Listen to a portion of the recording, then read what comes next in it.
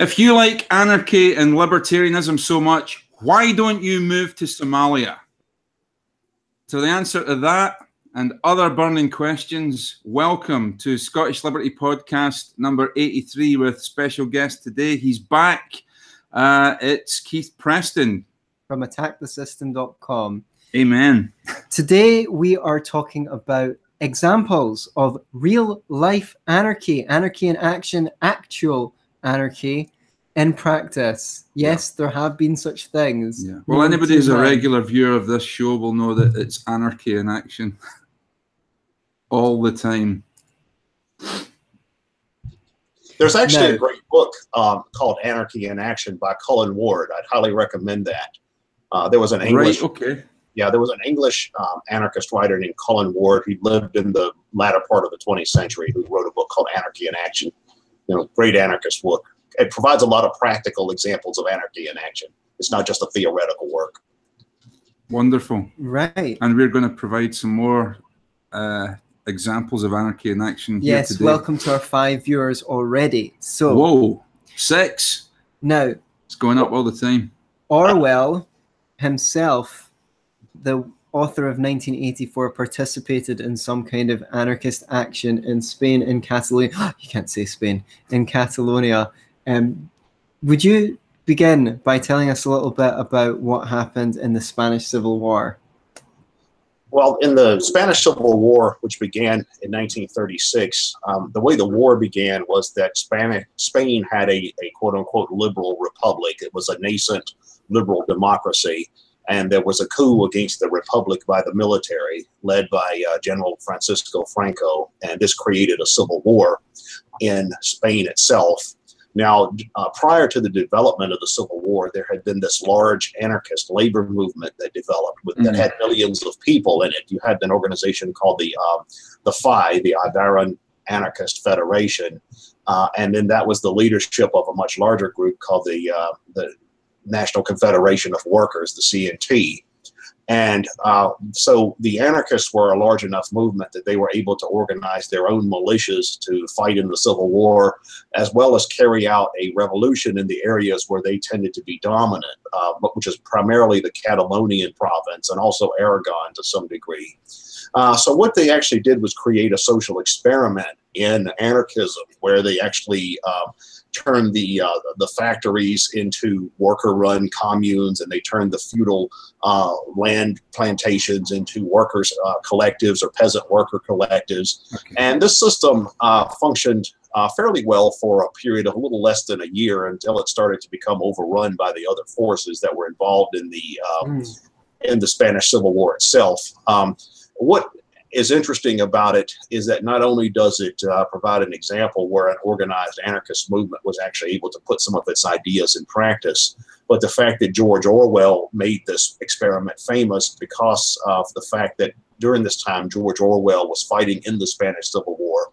He was fighting for a group called the POUM, which uh, I forget what that stands for, but uh, I think it's the Marxist Parties of Workers' Unity or something like that, okay. which was a, which was a Trotskyist group. Um, and uh, Orwell actually you know, was English, but he joined this uh, the Spanish uh, uh, pro-Republican war effort, which people all over the world did. There were radical leftists from all over the world, including from the United States. There was a group called the Abraham Lincoln Brigade from the United States that went to Spain to fight in the Civil War uh, on the pro-Republican side. And when, but Orwell happened to be in Catalonia when this happened, when the uh, anarchists carried out their revolution.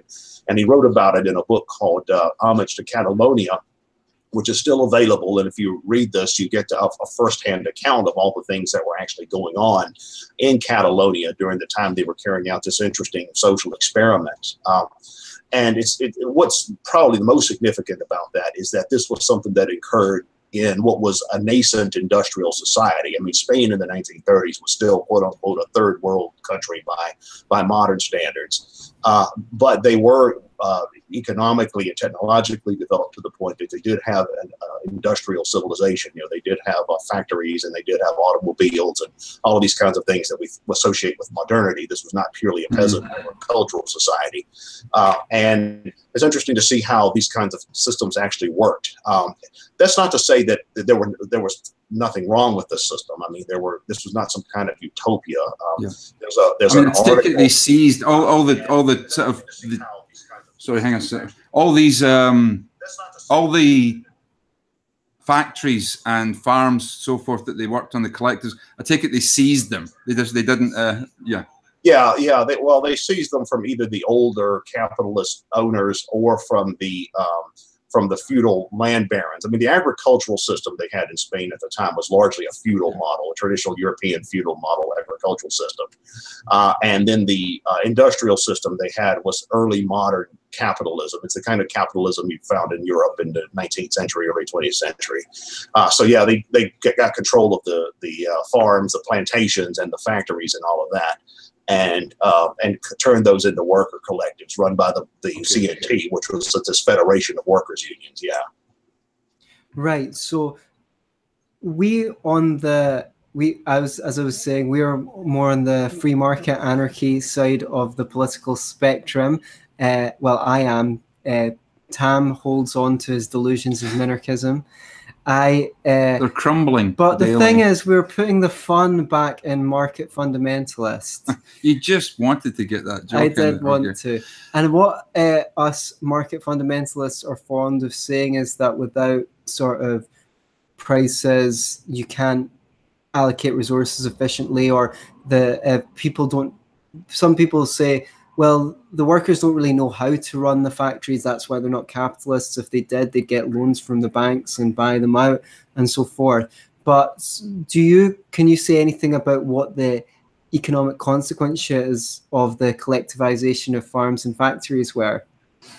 Um, well, it's hard to really tell what the long range yeah. Uh, consequences would have been because this experiment only lasted a relatively short period of time. We don't mm, have yeah an example of something like this existing in an industrial civilization yeah. for decades. Uh, so that's really the kind of case model we would need to see how well this would work. Yeah, yeah. There is because it was basically crushed by the nationalists, yeah. In, in well, the by the nationalists, by, by the Spanish nationalists from one end, and by the communists from the other end. So right, okay the anarchists were in a, in a position in Spain of having to fight a two front civil war. I mean, we're talking about a civilian, you know, popular militia that's fighting a two front civil war, one of which is backed by fascist Italy and Nazi Germany, one of which is backed by Stalinist Russia. So it was an impossible situation.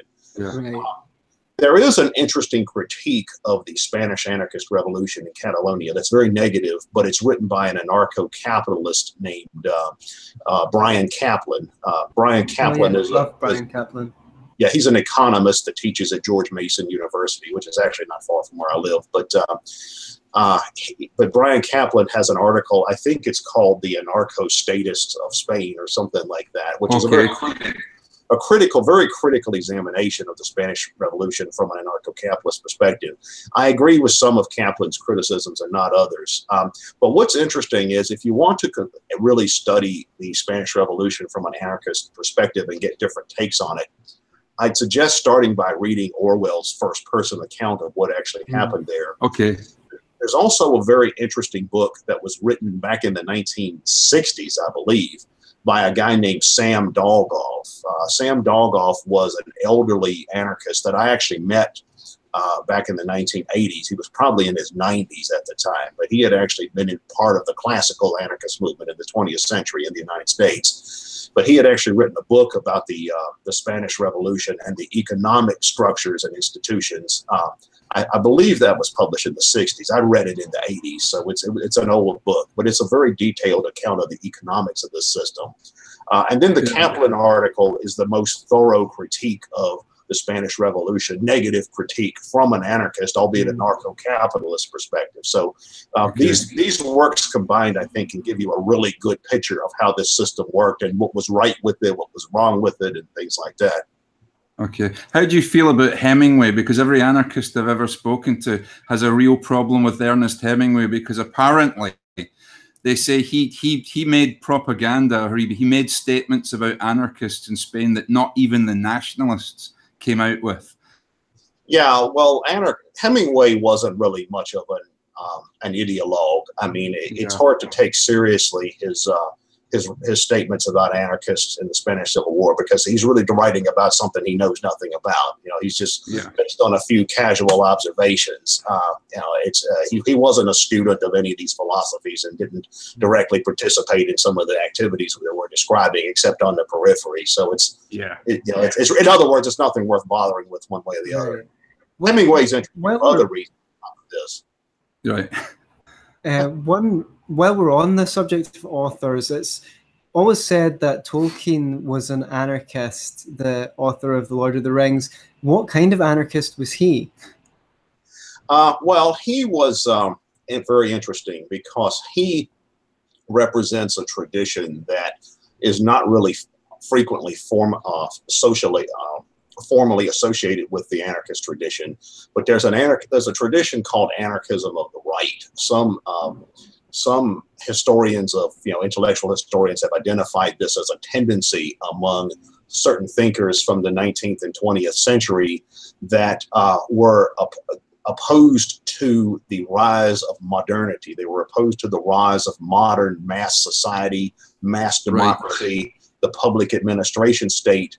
But they were not egalitarian leftists like a lot of the social anarchists were, and they were not necessarily libertarians like like the anarcho-capitalist or individualist anarchists.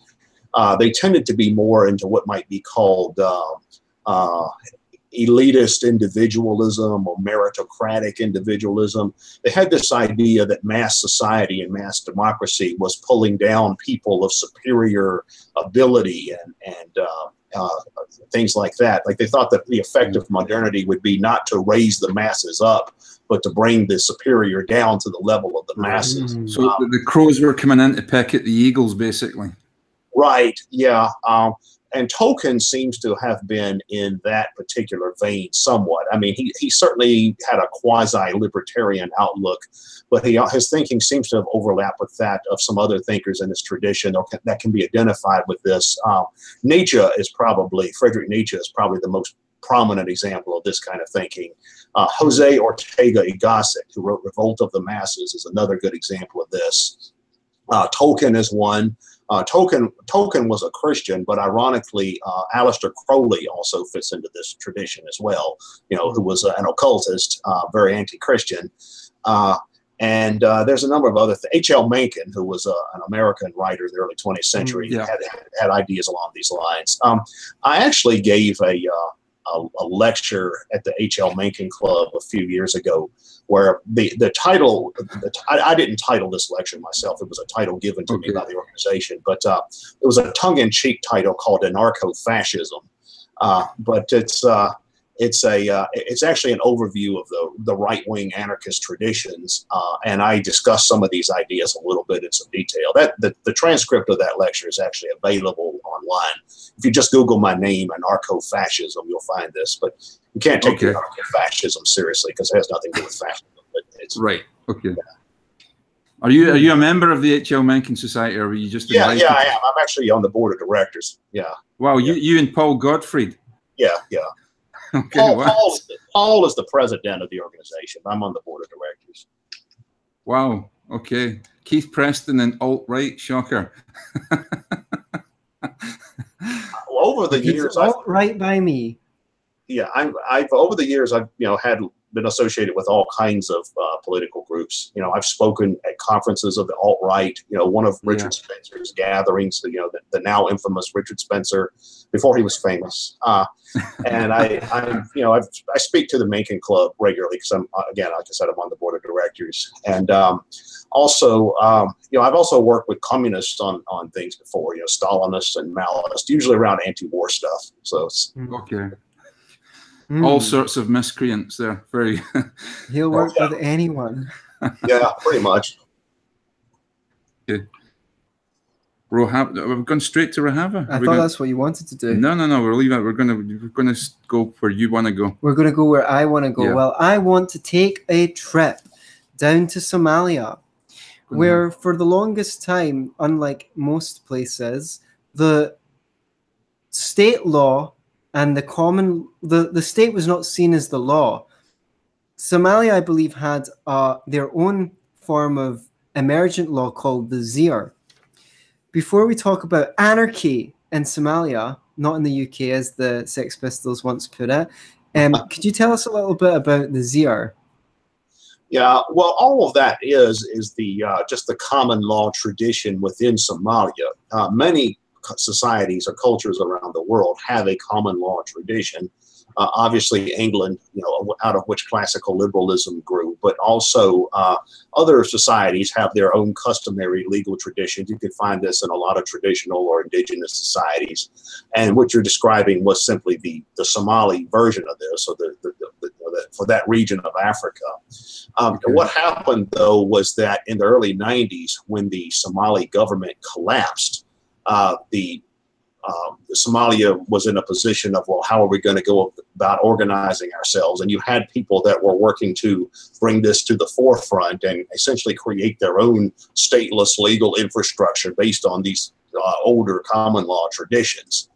Uh, and that still continues to endure. Uh, it's not. It's not that Somalia. A lot of people get confused about what's going on in Somalia. It's not that Somalia is a is some kind of anarchist utopia and has been ever since the government collapsed. I mean, there's all kinds of problems in Somalia. You know, violence, civil war, uh, things like that. But it's also true that you do find pockets of this happening in Somalia where people are creating their own legal infrastructure independently of the state based on these older common law traditions. And these uh, systems do actually work and people do work and maintain these. It, it's a way of uh, settling disputes between groups and individuals and things like that uh, and avoiding things like uh, you know, gunfights and blood feuds and civil war.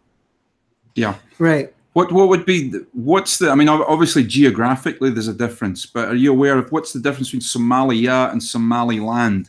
Um, is it the same people, or is it two the two different cultures there? Um, I, I, don't know a lot about that. Okay. Um, I think they're more or less the the same region. Um, I think that uh, the Somaliland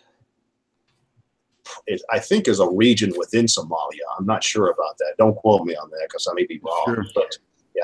I only know about it because uh, Liberland, uh, the, the new state of Liberland that's been created uh, by Vít Jedlička, um, they, they have some sort of uh, embassy with Somaliland. In fact, they played chess against Somaliland recently and beat Somaliland something like take that yeah, Somali take in your face Somaliland. There, there you go. Yeah. now you know what system's better. You can't even beat a status society in chess, even if it's a minarchist one. Yeah, okay. I just wanted to mention because obviously, if you're libertarian minded or you're an anarchist, people say if you like anarchy so much, why don't you go to Somalia? And I just my argument for that is that a failed state is not evidence of the efficaciousness or not of anarchism. Like if you saw a ship that was built around a central beam, which they did for a long time, and someone came around and said, Oh, I could build a ship that would float, but it wouldn't need a central beam. We'd put ribs around the side and, and the boat would be faster and it would be more efficient. And you wouldn't test that hypothesis by ripping the central beam out of a existing ship and say, well, that sank, so obviously you can't do it. Um, but uh, article appeared by Benjamin Powell, economist I've got great respect for, in 2006 called, six called Somali Anarchy is More Orderly Than Somali Government, in which Powell talks about many of the measures in which Somalia improved after the government was done away with. So um, people can look that up if they want. What I wanted to mention, because I know a little bit about it, not an awful lot, is that when people know that there's not going to be a state, they make provisions for the there not being a state. They create as soon as the state moves in and does certain things, it's like, well, there's no point doing that because the government's got it. So that's what I mean. Like, if you burn down the churches, not everyone suddenly becomes an atheist. And um, the Uh, what I understand is that in rural Somalia, because they weren't reliant on the state for doing the things that states normally do, things actually went better because there was no taxes on them and that they were not harassed by government officials and so forth when the state collapsed. It's really in the cities where they that they didn't fare so well because they were kind of dependent on the state doing what state for police law and, and other infrastructure so what i mean to say is that the dependence on state infrastructure creates problems but telecommunications got a lot better in somalia because there's no regulation like everywhere else um, you, you you could get a better call and cheaper call in Somalia than anywhere else in Africa. I heard uh, there was an increase in life expectancy and things like that. So no one's saying that Somalia is an anarchist utopia, but things like the piracy problems are basically caused by gun control. You know, you're not allowed to. Uh, the the pirates have got guns, but um, you know, if you've got a cargo ship or anything like that, you're not really allowed. Uh, right. Okay. Comparable weapons. So I, I, I know that for a while Somalia was also under the influence of so-called scientific socialism, and we know how well that tends to work under Siad Barre. So how I don't know if I've um, I think that it's basically Islamic fundamentalists messing around in Somalia and like the the interventions by the UN, the USA, and so forth that are really causing that have really caused the chaos in Somalia. Do you agree or disagree with that? Yeah, absolutely. Um, Somalia had a communist government that eventually collapsed into a civil war which in turn triggered interventions by the United States and by the uh, the United Nations under the banner of the United Nations, but really by the United States. Uh, right. So you had uh, an invasion by a foreign power following the collapse of a communist government, and you had the uh, the jihadis trying to establish a foothold there as well. So you have a situation that, ironically, is similar to some other circumstances where a an anarchist influenced or model like community is developed where you know like, like Spain or like Rojava or wherever where you have a civil war and chaos going around but you have people trying to create their own uh, social infrastructures largely due to the fact that nothing else is available uh, and you do see uh, the, from the example of Somalia that, uh, as, as Anthony was saying, that you do find examples of where they were actually able to improve conditions considerably. Yeah. in, in those particular localities. Um, by the way, I just looked up Somaliland, and yeah, I, I was right. It is a, a, province, an autonomous province within Somalia. Yeah, so they've actually got okay. as an autonomous region. Um, yeah, but uh, so yeah, when people say, "Well, if you like if, if you like anarchism, why don't you go to Somalia?" I mean, that's not really uh, uh, a uh, there's something of a loaded challenge there because it's a, first of all, yeah. people people don't just migrate to another society for politics. I mean, there's also things like you know language, culture, family connections, social connections, and all of making a living, and all of these other kinds of things you have to consider. Yeah silly. Uh, that's a silly statement when people say things like that. Uh, and, and again, it's not that Somalia is some kind of anarchistic utopia either. It's just we do find uh, from the example of a state actually collapsing a situation where some people within that particular territory were able to create these infrastructures that were alternatives to the state. So if we do want anarchy and we want to move to it, if not Somalia, what kind of places can we move to that might be of some interest or value or might meet our principles? Mm, uh, that probably would depend on what kind of anarchist you are. Um, there's a if you're the kind of anarchist that's into communal living and communes and things like that, here in the United States, you actually have communes that are engaged in income sharing projects and things like that. Uh, there's one that's not far from me called Twin Oaks. Uh, that's part of this larger federation called the Federation of Egalitarian Communities, and this is sort of a model for anarcho-communism. I mean, these these communities are kind of like what you know the Kropotkin version of anarcho-communism would look like in practice. I think. I mean, now they still function as part of the wider society. They're not uh, autonomous from the state in the sense that they're exempt from state laws or anything like that. Like they wouldn't be able to farm farm marijuana there without a you know or something like that. Um, so they are subject to the to the laws of the state, but so they're not autonomous, but they do function as kind of quasi-anarchistic communes. If that's what you're interested in, uh, if you just want to live what in if a you hate the plebs and you're not for egalitarianism. uh, well, there's a let's see there's uh, if you if, if you're interested in primitivism, if you want to, if you don't mind living in a in a region where there's uh, not a not a lot of industry or technology or things like that, the Zomia region of um, the Southeast Asia is interesting. It's, Okay. it's part of the uh, it's part of the highland area of Southeast Asia. It's uh, no no state has ever taken root there. This is a region where you have about 20 million people living there.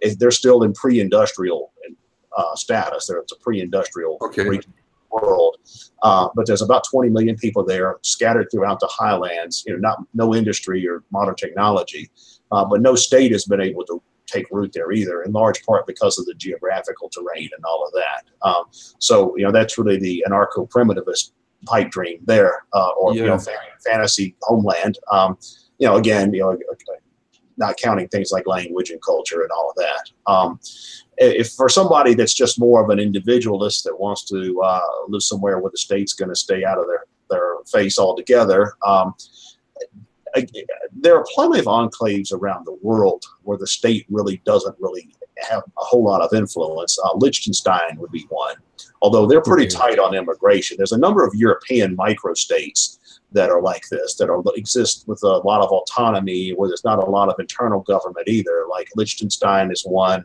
Monaco is one. Um, uh, Andorra, the region of Andorra is another. You know, these are all European regions. Uh, and for Europeans, that's probably maybe the best state. Now, Liberland, you mentioned the Liberland project. etc. Yeah. I, I met one of the guys that uh, founded that Yeah. project a few years ago when I was in Mexico at an Acapulco. Um, right. But uh, there's a uh, that's an interesting project because they're actually trying to achieve international autonomy, and they've had some Mhm. problems with the Croatian government and trying to, try Yeah. to get it going. You know, because I think one problem they had was that they went in. They were too bold about what they were doing. You know, they went in with saying, you know, we're going to do this. We're going to be an autonomous. Yeah, planted a flag and all sorts. yeah, Yeah. I, I think if they had done it more under the radar, it would have worked a lot better. Um, the um, Jeff Berwick, who runs the Anarch uh, Anarchast uh, podcast and who uh, holds hosts the uh, Anarchapulco gathering every year, uh, he says An- Acapulco in Mexico is the best place to be because I've actually been there myself, and it is interesting Okay. because it's not anarchism. I mean, you do see cops and soldiers and all of that there, uh, but it's it's pretty much hands off. You know, like if you're a, if if if you're a poor Mexican person who lives in the poor areas of that of, of, of Guerrero or the state of Guerrero in Mexico or the city of Acapulco, it may be a different story. But if you're a Western uh, expatriate, it's not a bad place to be. It's like a per- permanent Yeah. tourist resort, basically. If you're if you're an American or a, or a European and you're there just as a tourist or whatever, or, or an expatriate, they pretty much leave you alone. You can pretty much do what you want. You know, it's uh, Yeah. nobody really cares. Well, you, you, you could argue if you've got money, you could get pretty much left alone anywhere. You know. yeah, yeah. Well, uh, You have to pay them yeah. off. th- when it comes to that, yeah, I, I, I know a lot of uh, American expatriates that you know have affluence and, and wealth that have relocated to Mexico and Ecuador and uh, various Latin Puerto American Rico. uh, well, right there's Puerto Rico's interesting because right now there's a project that the Startup Societies Foundation is working on. Like the Startup Societies Foundation is this group that's interested in exploring some of these uh, startup societies and micro societies that have existed around the current do exist around the world today, like. Uh, uh, like the, some of the micro states I was talking about, like Liechtenstein, or like some of the smart cities like Dubai and Singapore, and like uh, eco villages and uh, seasteads. You know, there's the Seastead Institute that's got this idea of creating floating, Right. floating anarchic utopias on the oceans or whatever. But the Startup Societies uh, Foundation is an interesting group that's trying to actually, you know, put together the material infrastructure for this. This isn't a group that exists to promote a philosophy as much as actually build these kinds of places. And they've got a project now where they're trying to actually go into Puerto Rico and essentially rebuild Puerto Rico after the hurricane that happened there last year, uh, based Right. on some of these ideas. You know, these ideas of creating. Uh, essentially turning Puerto Rico into one of these kind of startup societies with its own infrastructure and things like that. Now, a problem with that, obviously, is that the Puerto Rico is a colony of the United States, and Mm. the Americans are very opposed to the idea of you know people going off and doing their own thing. Obviously, uh, particularly one of How the ironic. Yeah. yeah, particularly yeah, particularly one of their own. Yeah, yeah, it's interesting. It's interesting how uh, uh, you know, our nation, the United States, started as a war of the colonies in seceding from Britain, and now we pretty much are trying to subjugate the rest of the world. So it's uh, yeah, and it's a shame because what a great gift um, America gave to the world, and the fact that their constitution was the first document, individualist political document that said you've got the right to pursue your own happiness, individual. Before that, it's not nothing's individual. It's like you know you can't have uh, separation of church and state because people will go to hell you know? You uh, you, you, can't uh, you can't just be doing your own thing. You've got a duty to um, and uh, sadly that legacy is being lost to collectivism. So i think is it not true that these microstates like monaco are just really for rich people though? Yeah well certainly it's you're better off in one of these places if you are a rich person. Uh, mm-hmm. That's not. But somebody must somebody must take out the garbage, though, right? Yeah, somebody yeah. must. Well, well, a criticism I have of some of the, I don't know as much about Monaco per se. I, th- I doubt this is as much of an issue there, but in Dubai, is often cited as a model for this microstate, but it's it's actually an oligarchy where the, the people that do the labor, or many of them are migrant workers that are basically serfs and indentured servants. So, yeah, the, the, that's an issue there. Um, yeah. But there's a whole lot of uh, small, largely autonomous regions around the world that have managed to maintain a relatively high level of independence from states. Um, there was a book written about 20 years ago called Downsizing the USA uh, it was written by a um, an acquaintance of mine named Thomas Naylor, who's now deceased. But uh, what he wanted was for the state of Vermont here in the United States to secede from the United States and become an independent nation, which it once was. It actually was an independent nation before it joined the United States 200 mm-hmm. years so ago. Um, and he wanted it to go back to being autonomous. Um, but he actually wrote a book about this called "Downsizing the USA," and it's a it's kind of a quasi-anarchistic book. Tom, though, was more of a communitarian than an anarchist, but uh, but uh, he actually goes into a lot of detail in this book describing a lot of these small territories around the world, like Liechtenstein, like Monaco, like Dubai, like Singapore, like various island nations uh, like uh, various other places, Andorra, whatever, that have managed to achieve a relatively high level of independence, either as independent nations that other nations simply leave alone, or they are yeah. territories that are officially owned or controlled by other countries, but the their parent nation, you know, what for whatever leaves them alone for whatever reason. Right. You know, like China, Hong Kong is an example. and yeah. Hong Kong is theoretically part of China, but it's uh, they pretty much do their own thing up, up to a point. And it's worth mentioning that, you know, Hong Kong and Singapore at a time were as poor as African nations were, but in 30, 40 years managed to uh, establish excellent economic growth and um, take most people in their country out of poverty. So, would you care? Uh, well, that's, I'm going to move on to that next. I just want to go back a little bit because uh, we missed out on this. I know that you were keen to talk about the Paris Commune, Keith what was the Paris Commune? Uh, how did that come about, and how long did it last? Uh, well, the Paris Commune was a um, a worker revolt that happened in Paris in the 1870s. And uh, what's interesting is that there was a workers' insurrection where they, it was similar to what happened in Spain later. It was a, yeah a workers' insurrection, and they essentially overthrew the government of Paris, and they turned it into this kind of uh, quasi-anarchistic uh, collective, uh, similar to what happened in uh, in Spain. Uh, what was interesting, though, is that a lot of the radical groups from the 19th century that had previously been fighting with each other actually adopted the Paris Commune as their model. Like the anarchists, like Bakunin, looked at the Paris Commune and said, "Yeah, that's it. You know, that's that's where we're headed." But ironically, the Marxists did the same thing. Marx and Engels also looked at the Paris Commune and said, "Yeah, that's where we want to go as well." So it's uh, okay. So you know, it's it's interesting how the left and right and anarchists and socialists and libertarians and all that tend to converge when it comes to some of these kinds of questions. Hmm. Okay. Yeah, um, real convergence. Moving up to modern times, uh, one of the most recent examples, uh, not a lot of people know about, of a, of a kind of, a, some people say it's not real anarchy, but a, a kind of anarchist uh, coming to be, uh, uh, was it, how do we pronounce it? Rojava? Rojava. Rojava. Yeah. Yeah, and nah. that's in northern Syria. It's a de facto autonomous zone. It's been able to govern itself separately, apparently, uh, declared autonomy in November 2013. it's described as libertarian socialism or uh, libertarian municipalism uh, uh, after the philosopher Murray Bookchin. What can you comment about that, uh, libertarian municipalism and Murray Bookchin? Well, the backstory to that is interesting because this is a movement that grew out of the independent, out of the Kurdish independence movement. You know, the Kurds yeah. are an ethnic group in that region that has their historic homeland is carved up into domination by various states, by Iraq and by Syria and by Turkey primarily.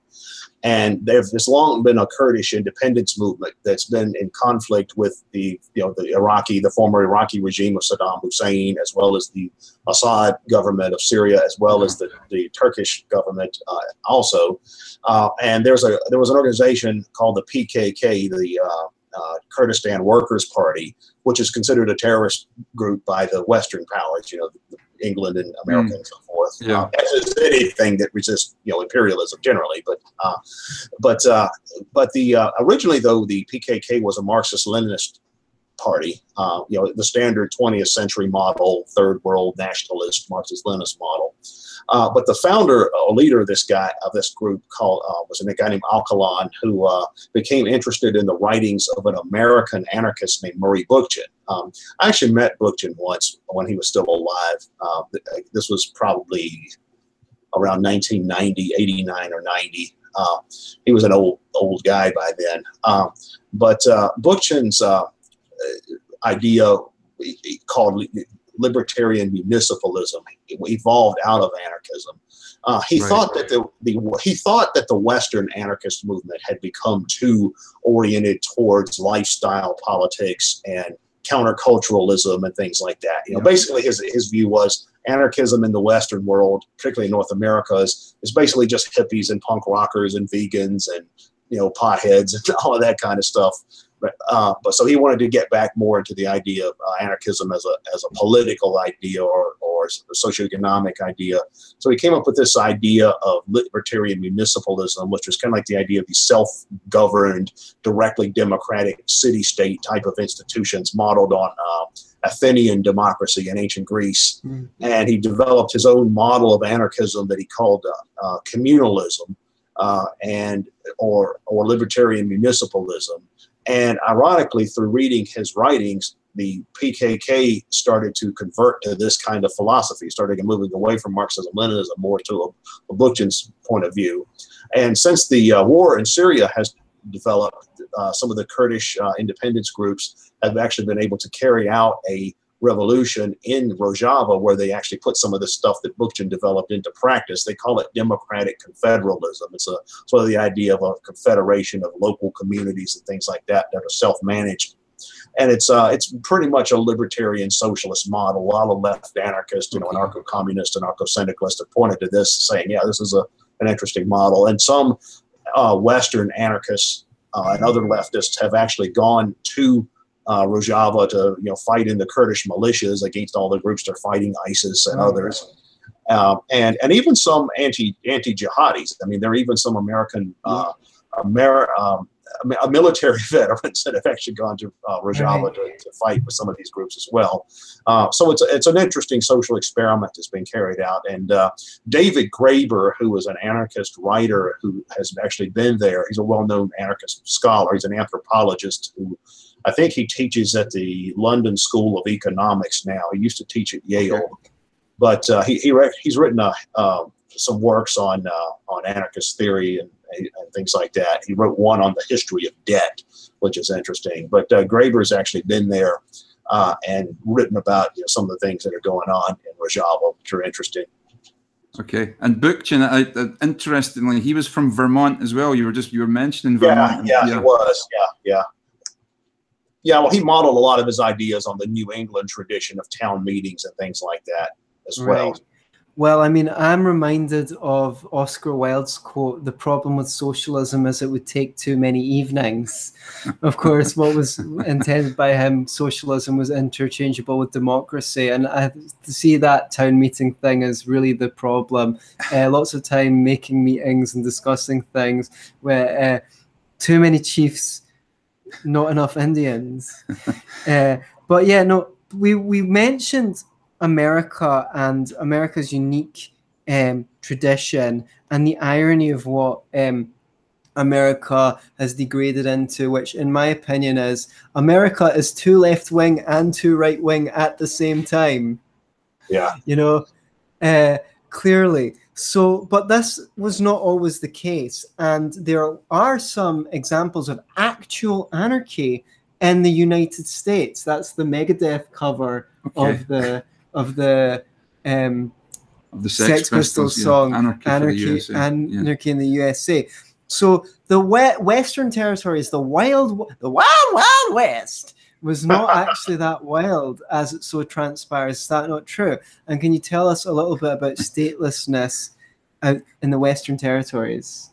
Yeah, um, there's some interesting work that's been done on that as well. There's some scholarly work that has been done on uh, the the American territories in the Old West, or some of the pioneer settlements in the Old West in the 19th century. Uh, there's a fellow named Terry Anderson that's written about this a bit, uh, and there's some of the anarcho-capitalists have argued that what actually happened in the Old West was anarcho-capitalism in many ways, because you had a situation where people were migrating westward and forming all of these settlements. And this was uh, uh, a wide open frontier. Uh, you had the native peoples, the indigenous uh, Native American nations there, uh, who often came into serious conflict with the pioneers. Yeah. Uh, but you also had the, uh, although one, uh, as an aside, studying Native American traditions is really important if you're interested in how anarchistic Yeah. or quasi-anarchistic societies actually work, because the Native Americans tend, were a very decentralized uh, civilization that had uh, many, many, many nations and many, many autonomous tribes, and tended to have a very uh, confederal type of infrastructure and things like that. So that's something else that's worth looking at. But uh, with these pioneer um, communities that would that ventured into the old west in the 19th century, you had a situation where these places were going and being established. They were not necessarily under the protection of the American government because the American government had limited resources with which to protect them. Uh, uh, you know, this, this was the 19th century, 19th century levels of technology. So um, more or less, a lot of these pioneer communities, these old Western towns and settlements, had to uh, essentially become self-governing, and they you're, you're so you're dealing with a situation where prospectors and pioneers and miners and uh, adventurers are going out and starting their own towns and their own communities, but they don't really have a government, so they pretty much have to manage themselves and deal come up with ideas about how they're going to deal with crime or how they're going to deal with attacks, uh, you know, or war with either the Native American communities or with other pioneer communities, or Yeah, whatever. yeah. Those things happened. Um, but so you did have this kind of uh, infrastructure that was created in some of these places, similar to what an anarcho-capitalist envisioned, uh, envisioned with private courts and private militias and private Mm. police and, and, and things like that. Uh, now, that's not to say there were never any abuses and things like that, but the Yeah, common the common image that many people have of the quote unquote old west is one where everybody's just going around shooting everybody else because they're always fighting over you know whiskey and women and money and jumping. Yeah. Cattle rustling and and Yeah. or if somebody if somebody does something wrong a mob of people just go out and hang them you know uh, vigilante style. Things like that happen. Um, but it, it's also true that there was a lot more organization to these kinds of Mm. communities than what is commonly thought. Um, you know you had for example vigilance committees which were or organizations that were created to maintain peace when you had problems with bandits and stuff like that and if they captured a bandit, they didn't necessarily just hang the bandit. They would actually have trials, you know, uh, with uh, a justice of the peace, you know, a person who's appointed to Mm. preside over the trial, and or someone that you know, people that are experienced with law or something like that would be brought in to service the equivalent of court officers. So it's not it, it- the picture that many people have of the old west as being this place where there's Mm. nothing but chaos going on and constant Well, gun yeah, battles. yeah. Well, I guess they had to sell dime store novels, and like Yeah. you know, it's a peace and prosperity. It doesn't really Sure. sell the dime store novel. You know. Yeah, But well, not only not only that, not only does it, you know, you know, uh, most most fictionalized history is just that fiction. I mean, and they always take the most bizarre and or outrageous uh, aspects of a particular uh, situation and make that out to be the norm. Um, you know, for example, uh, you know, if you if e- everybody there are people who think that everybody who lived in medieval England was constantly engaging in jousts and you know battles battles for the castle and you know that kind of stuff. No, you know most people were just trying to get food and, and bread. You know it's uh, but uh, it's also true though that institutions, the state and institutions that are related to the state, have obviously a vested interest in portraying stateless societies in the most negative way they possibly can. You know, you're never going to have institutions that are organized and funded by the American government, the public school system, the university system, uh, coming out and saying, yeah, the old West was wonderful. They they abolished government, and wow, it, it worked fine. You know, that I mean, no no, no state-oriented institution is ever going to say something like that. Yeah, I uh, believe the murder rates were lower actually out there. And what? I the murder the rates. murder rates were lower out there. I didn't I didn't understand that. that. The, the murder rates were lower out there. Oh, oh the murder rates were lower. Yeah. Um, uh, I, I, well, a lot of that though can be accounted for by the fact that the population was sparse. Now, in in, in okay. societies where you have a sparse population, obviously you're going to have a smaller number of murders numerically, but the murder rates per capita tend to be smaller because you tend to have more um, interconnected communities that are more homogenous, and people are able to find uh, ways of settling disputes that don't involve killing mm-hmm. somebody or something like that. Um, a good example is, is just small towns, small towns, small villages where people generally know each other or have some kind of connection to each other, uh, and um, or and they're able to work out their problems through just uh, negotiation, or there are community, common community norms that restrain individual behavior. You know, you don't steal from your neighbor because then everybody's going to hate you and they're not going to want to be your friend and things like that. Um, yeah. Whereas in large, heavily populated societies that are tend to be more heterogeneous, where not only there's a where people are impersonal because there's so many people you don't know anyone else. Uh, and also there's there's a lack of commonality in terms of culture and, and social norms then you start to see crime and violence coming along because you know that's just how you do things. You know, it's it's easier to get away with that kind of stuff mm-hmm. because you can just kind of blend into the crowd. Right. And then and then as far as settling disputes, there's not as many ways of settling disputes unless except going to the state directly. Uh, if you don't want to do that, then there's you know there's gunfights and that kind of stuff. You know, particularly people that are involved in trades that are trying being suppressed by the state. Uh, the you know the drug trade and, and things like that is a good example. Mm. Well, I mean, what people really want to know is in the Western Territories, who built the roads? well, I mean, they didn't really have much need for roads back then. I mean, they didn't have automobiles. They had uh, they had stage coaches and traveled right. by horseback. So if you wanted a road, you just got out, uh, you know, your sickle and your shovel and cleared out the brush and, and made a path. You know, that, yeah. they are a technology so advanced that only a government could produce them. So Pennsylvania and Rhode Island had episodes where there was no government or little to no government. Is that not true?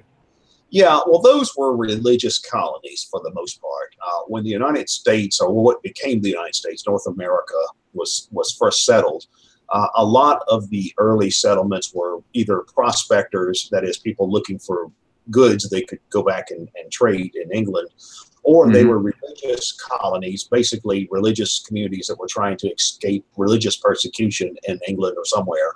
Uh, and often they would replicate religious persecution in the colonies, but uh, that's a separate story. Um, the first settlement like that was the Puritans, the Pilgrims, who uh, established Plymouth Rock in what is now Massachusetts in 1620, um, I believe it was. Uh, and then you also had other religious communities that would split off from those uh, and go on form their own religious community, or or they would come from elsewhere and, and form another religious community.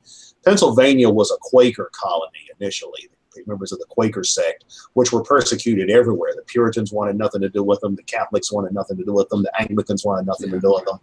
Uh, so they started their own. They're the sort of they're the tradition of no centralized authority anywhere. Yeah, yeah, yeah. Quaker religion doesn't really have the clergy in the traditional sense. They uh, like a Quaker a Quaker religious worship place of worship. They call it a meeting house. You can call it a church. And basically, when you go in there, you just you don't really have a. It's not like church where you have the liturgy, or it's not even like the Baptists where you have a, just a lecturer or a teacher or something like that. You just kind of sit there and meditate. You know, it's like you just reflect on things. It's uh, yeah. it's kind of it's more of a it's kind of a mystical type of Christianity. Uh, but but the, Pennsylvania was a Quaker colony. Uh, it was. I think the original leader was a guy named William Penn.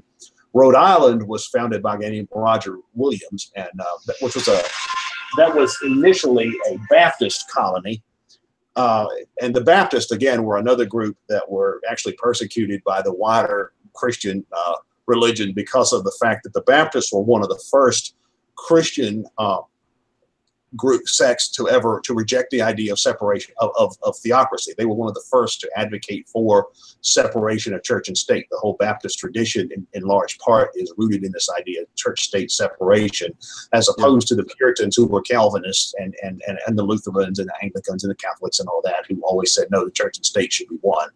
Um, but you did have uh, these uh, religious colonies that were formed in New England, in Pennsylvania, Rhode Island, places like that, that were autonomous, uh, quasi-stateless religious communities. Uh, we had a, places like that even later on in the 19th century when the Mormon religion developed in the United States. It originally developed in New York, but they were not well liked. They were considered heretics, and plus they practiced polygamy, which in the you know the, the Protestant Christian culture of the, of the time and even today was considered uh, taboo. So they actually started moving westward and they actually formed a colony in Utah, like what is now the state of Utah in the United States, was originally a Mormon homeland, a Mormon colony. Um, and in fact, to, to join the United States, Utah had to write into its constitution a ban on polygamy because of this, because the Mormons were famous for practicing polygamy. And some of them still do, and you know, clandestinely. Yeah. Well, I mean, I, I think there was a lot of uh, military force, I think, used to bring Utah into line with the, the federal government. Yep. Yeah, yeah. I mean, Mormons were actually massacred by the uh, American military. Uh, yeah, it's interesting how the United States has this interesting history we were talking about earlier. Of one hand, having a revolution, a war of independence, uh, from Britain and then establishing a Declaration of Independence and a constitution that says, you know, everyone has the inalienable right to life, liberty, pursuit of happiness. And then you get the Constitution with the, you know, the separation of powers and the Bill of Rights. Yeah. And yet it's always been very, very selectively and narrowly applied. You know, it's, uh, yeah. it's, it's always been, uh, I mean, and this was true right from the start. I mean, right, one, one of the reasons for the American Revolution was the colonies, the American colonies were trying to expand into the Western territories and seize more and more land from the Native Americans. Uh, and the British government was actually opposed to this. They thought it was too provocative, and they didn't have the troops to you know, back up the colonies. And they kept telling the colonies, "Don't do this." And and the colonies were like, "Well, we're going to do what we want to do." And the British were like, right. "Well, fine, okay, you need military protection. You pay for it yourself. And if we send troops to protect you, they're going to camp out on your farms, and you're going to find a place for them to stay." And the and and that is in part what led to the American Revolution because the British were opposed to the colonial expansion into the Native American territory. So, is there any is there any truth? To, I mean, I've heard that uh, it may be the Lakota Sioux, but it could be another group of, of tribes. But they had a constitution very similar to to, to the United States Constitution, or is that? I, I, don't know about the Lakota. I, I know that the, the Lakota has a uh, have a movement now called the Lakota Republic, where they're okay. actually trying to reestablish uh, uh, some of the older uh, reclaim the older territories that were part of the Lakota Nation, which is out in the western region of the United States. I think what you're talking about is the Iroquois Confederation. The ah, Iroquois, right. Okay. The Iroquois Confederation was a, a group of Native American tribes that lived in the eastern, northern eastern region of the uh, of North America, and their political model seems to have been something of an influence on the development of the U.S. constitutional system. Okay. And was it the Iroquois that George Washington eventually sort of used a lot of force against? Or well, well, all of them, all of the Native American. Right. Yeah, yeah, yeah. I don't know how that how familiar the first generation of American revolutionaries, George Washington and those people. I don't know that they would have been that familiar with the Lakota because they're geographically they're located much further to yeah. the west in this eastern okay. region. I think probably the Iroquois were more of an influence. Yeah. Okay. Well, we're coming quickly to the end of our time. Is there something no. that you want to include? Well, I don't know. You could ask about the Christiana uh, thing if you want. So, Sure, Christian Christiania. There's a this That's is a Denmark, yeah. contemporary example in Denmark as well. do we know much about that? Yeah, it's a uh, um, it's a place in Denmark in Copenhagen uh, where it was a, uh, a facility that was taken over by some radicals, some anarchistic radicals back during the early 70s. And largely, it's been able to maintain its autonomy as sort of a city within a city. I mean, it's in, it's within the city of Copenhagen itself, but they uh, have a certain degree of autonomy from the city. It's largely self-administered, and it functions as a kind of quasi-anarchistic commune. It's a very countercultural type of place, uh, you know, very hippie-ish and all of that. Uh, uh, and it's certainly a model of how a, a community like this can achieve some degree of autonomy independently of the state, even even though it's still submerged within a wider state system. And a lot Would of would you- Right. Okay. this as a model. Yeah. Would, would you reg- would you regard um, the the Amish? Are they, are, would would you regard them in any way as some sort of model of a or yeah? Yeah, yeah, because they actually have a, a, a situation where they've managed to maintain a lot of autonomy from the American government. You know, they, they don't use modern technology. That's part of their religion. Uh, they're very Yeah. agricultural. Uh, you know, they, they do compromise on that somewhat. For example, they have a farming, uh, they, they used to have a big contract, uh, farming uh, for agricultural contract with uh, one of the big corporations, Libby's, where they would produce a lot of stuff for Libby's. Uh, they don't serve in the military. They're pacifists, so they actually get a religious exemption for military service. Although we don't have conscription in the United States anymore, anyway. Yeah. Uh, but when we did, they would they were exempt from military service. But they, yeah, they've managed to carve out these agricultural communities that you know they, they're still subject to the laws of the state. I mean, they still can't just break the law, uh, but they manage to function independently of a lot of state services and state uh, state institutions in a way that most people don't.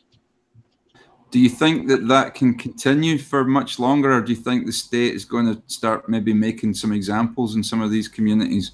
Uh, well, they will do that for institutions, for communities that get too, that they think are getting too independent. Uh, a good example is uh, we had a, a situation about 25 years ago in the United States where there was a group in Texas, in a place called Waco, Texas, and it was Yep. a uh, it was a uh, a cult like you know very religious community.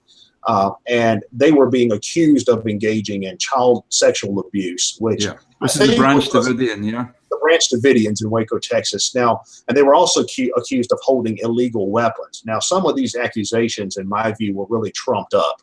Not entirely false, but trumped up in the sense that while it's true that uh, the the in terms of the so-called sexual abuse, basically amounted it amounted to the leader of this group having sex with girls that are underage. You know, not little children, but you know, Yeah. you know, it, it was a thirty-year-old Under the, under the statutory yeah, age. Yeah. statutory rape. Yeah, you know, a 30 year old guy just getting it on with a 14 year old or something like that.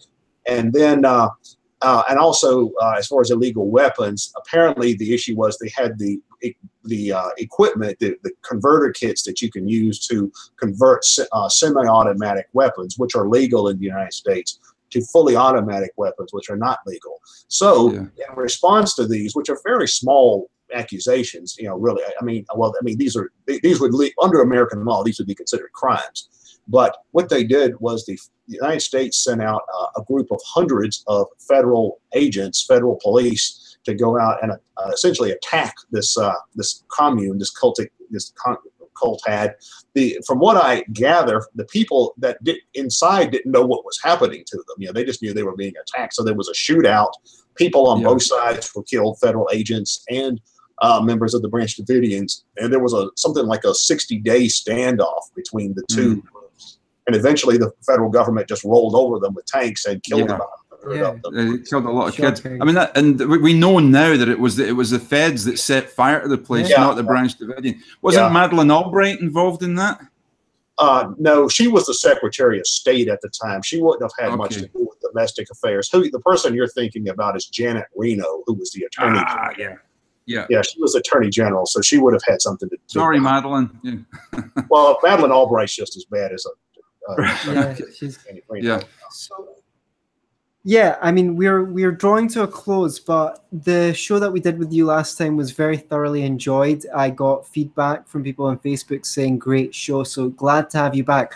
We are hoping to see Keith Preston live. So why don't you plug that before we wrap up for today? Your live Yeah. appearance in the UK. Where can we see you in the flesh, so to speak, Keith?